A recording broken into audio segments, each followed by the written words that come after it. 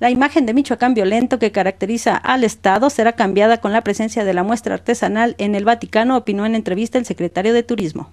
Y yo creo que este escaparate que está en el Vaticano, por supuesto que nos da un sentido de paz, de unidad a los michoacanos, que mucho nos hace falta una reconciliación, de repente nos peleamos mucho los michoacanos y yo creo que es importante ya buscar los puntos de coincidencia, respetar los puntos de vista que tenga cada quien, pero trabajar en donde permite un desarrollo y un crecimiento sostenido para nuestro Estado, eh, con respecto a la forma de pensar de cada quien, pero donde las coincidencias sean mucho más grandes que las diferencias y que nos sentemos a dialogar, que podamos tener mesas donde de manera sensata, razonable, podamos llegar a acuerdos. El caso, por ejemplo, la invitación siempre ha sido a la gente que se manifiesta, cualquier agrupación que sea, pues que no afectemos a terceras personas, que no afectemos con bloqueos, con marchas, con plantones, y si se van a hacer este tipo de manifestaciones, que no se hagan en las vías públicas. No obstante, es ya urgente la regulación de manifestaciones a fin de disminuir esa imagen negativa que se tiene al exterior.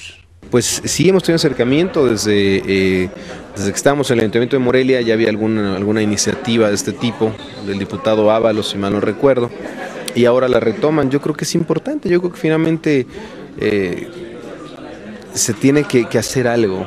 Realmente la afectación que se hace a la población de cada lugar donde se hacen estas manifestaciones y a los visitantes es mucha la imagen.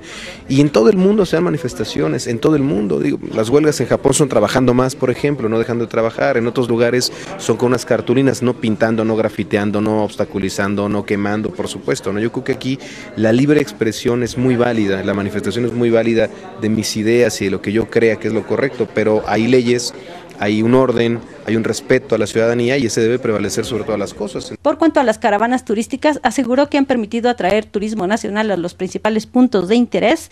La principal inquietud de quien las visita genera nostalgia y extrañeza. Vamos a seguir, va muy bien y me dio mucho gusto, por cierto, que la gente de la costa, hoy Jorge Mendoza declara la importancia de las caravanas porque le ha permitido a la gente, sobre todo del Bajío, a la gente de Guanajuato, fíjate lo que pasó, Pati Fuimos al Centro Fox, que la gente tenía como que a qué vamos.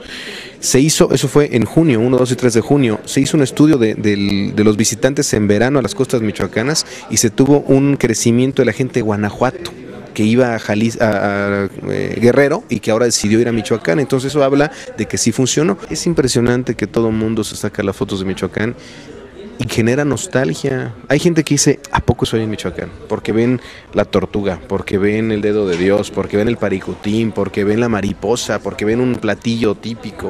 O sea, no, no hemos sabido vendernos. La respuesta en las caravanas se refleja en los visitantes, sobre todo en la costa michoacana. Informo para Noticiero Nuestra Visión, Patricia Torres.